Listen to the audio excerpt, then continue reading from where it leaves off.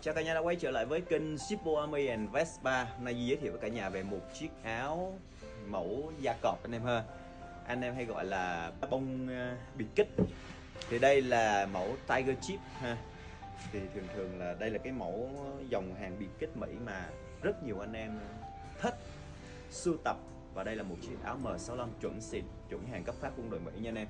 Nó không phải là dòng hàng thị trường hay là hàng Thái Lan mà anh em hay thấy ha và chiếc áo này rơi vào thập niên ờ, 7X vì nó có sử dụng sợi dây khóa, vẫn là dây khóa đồng này anh em này và dây khóa cổ là chuyển qua dây khóa nhựa rồi, nó là cái giai đoạn giao thời giữa dây khóa đồng và dây khóa nhựa.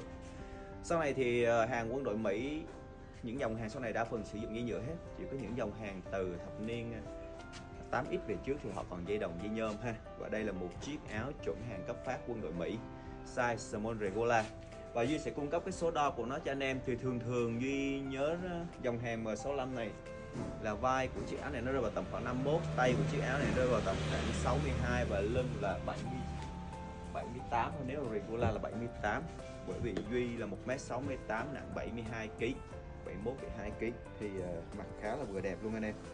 Chiếc áo này nó chỉ có một vài lỗi nhẹ nhẹ.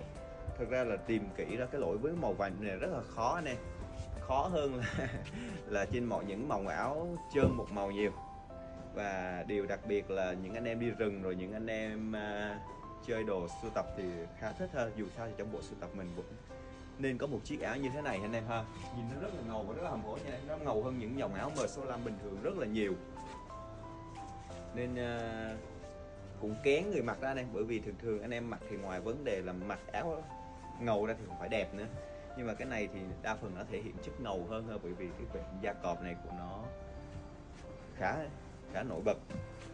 Ok và tới quay một vòng cho anh em xem ha. À, giá của chiếc áo này là 4 triệu nha anh em nha. Quan tâm con Duy số điện thoại cập nhật ngay trên màn hình. Bán xong hàng Duy sẽ xóa bài. Bởi Duy không có muốn cái những cái bài cũ thì nhiều người hay gọi điện đến hỏi thì mất công cả đôi bên lẫn coi. Thì những cái bài áo này vừa bán xong Duy sẽ xóa bài ha anh em ha. À, cảm ơn em rất nhiều. Chào anh em.